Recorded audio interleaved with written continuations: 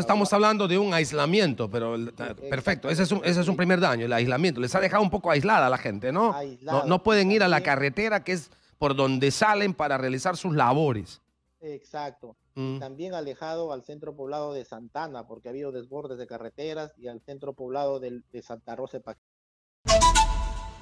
Jaime Vázquez está en comunicación con nosotros, él es alcalde del centro poblado de Cascajal eh, y anexos. Cascajal está en Chimbote, en la región Ancash, al norte de Lima. Señor Vázquez, ¿cómo está? Buenos días.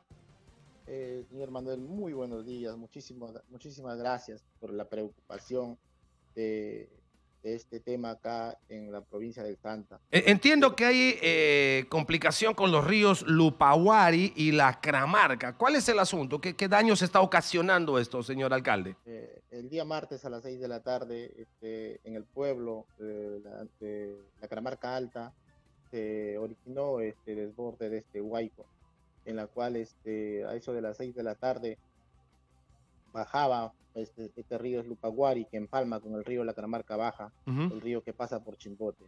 Y es ahí donde es triste las imágenes que llegan, que- que Exitosa. llegaron y la verdad que tomé acción de inmediatamente, busqué el apoyo necesario porque soy un centro poblado, no manejamos recursos para Ujú. poder atender estas emergencias. Y, y fue así cuando yo tuve que este, comunicar este hecho a la plataforma de defensa civil y de acuerdo a eso se pusieron de inmediato el día de ayer, han ido al lugar eh, en sitio a, a comprobar. De- ¿Defensa civil distrital, provincial, regional? Eh, provincial, Provincial. este, Ok, ¿qué, qué han, qué han registrado? ¿Qué, qué registro de daños han encontrado, señor Vázquez? los daños los, los daños son son este bien bien bien, bien difícil este señor periodista ¿por qué?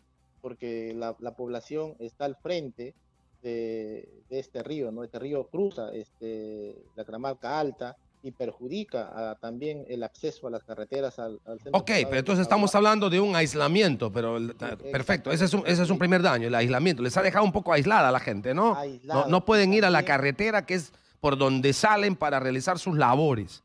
Exacto Mm. también alejado al centro poblado de Santana, porque ha habido desbordes de carreteras, y al centro poblado de Santa Rosa de Paquiri. Ha habido desborde de carretera, o sea, ¿afectó carretera también?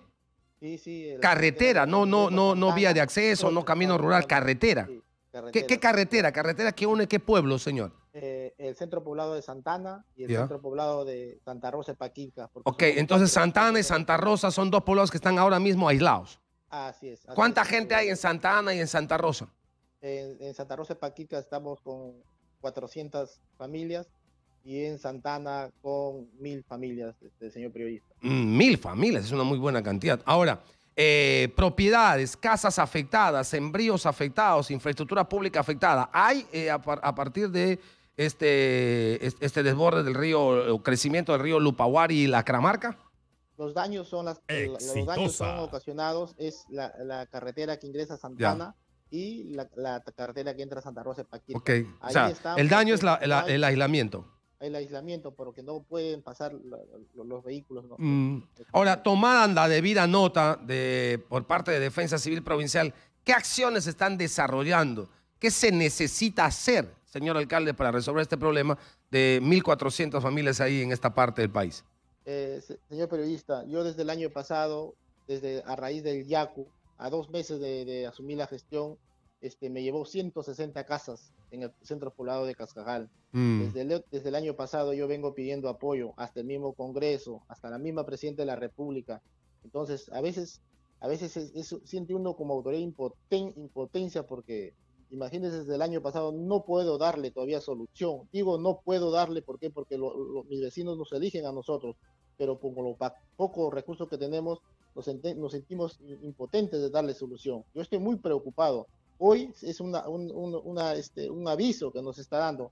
¿Por qué, señor periodista? Porque la geografía de, de mi centro poblado enmarca el río Lupaguari, río Lacramarca, Ujú. y lo que me llevó 160 casas es la quebrada Cascajal. Esa quebrada es muy peligrosa, porque no solamente afecta a Cascajal, afecta a Santa, a Cosco, a Cambio Puente y, y Ok. miles de Ahora, pero si de es tan peligrosa la, la quebrada o el río Cascajal y el río Lupahuari y la Cramarca, ¿por qué no se le retira a la gente de toda esta zona? ¿Por qué no se le reubica? ¿Por qué no se le pone a vivir y habilitar terrenos, responsabilidad que, te- que tendría que ser de alcaldes de distritos, no de centros poblados como es su caso, o de provincias que son los que manejan recursos, o del gobierno regional, llevarles a zonas donde no haya este peligro latente.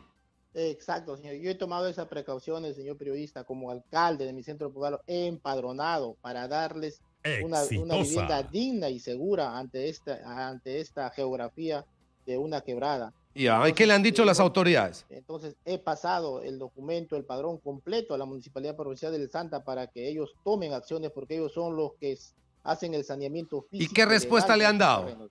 Hasta ahora yo no tengo ninguna respuesta. ¿Desde cuándo no tiene respuesta usted? de- de- a, los dos meses que había pasado el, el Yacu, señor periodista. O sea, estamos hablando de qué meses, ¿de junio, mayo? Este, en marzo, abril, mayo, señor Mayo. periodista. Mayo, ¿ya? ok. Esos padrones figuran en la Municipalidad Provincial del Santa. ¿Nunca le han respondido?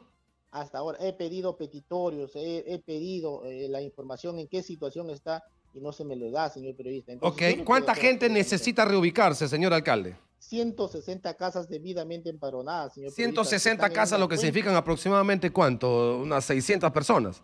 Sí, más o menos un promedio de 600 personas, eh, señor. señor Ok, periodista. Ok. Le agradecemos mucho al alcalde Jaime Vázquez, alcalde de centros poblados. Los centros poblados, por si acaso, no tienen recursos. Dicen cosas y hacen en coordinación con el alcalde distrital, que es en realidad el primer eslabón en la cadena de recursos que se maneja en, el Estado. O el último, dependiendo. Si empiezas por distrito, vas por provincia, vas a región y vas al gobierno nacional. O si empiezas del gobierno nacional, vas hasta el último, que es el municipio distrital. Eh, ha hecho su chamba el alcalde, ha puesto esta gente no puede seguir viviendo, estos compatriotas nuestros no pueden seguir viviendo, estos conciudadanos nuestros no pueden seguir viviendo. Alcalde, a ver, se reubica, si está la gente, van a buscar otro lugar. Nunca le han hecho caso. Y hoy están a punto de complicarse como ya se complicaron el año pasado. ¿Se acuerdan ustedes? Cascajal se hizo famoso. El Cascajal por este asunto de haberse afectado a una gran cantidad de gente por el fenómeno del Yaco.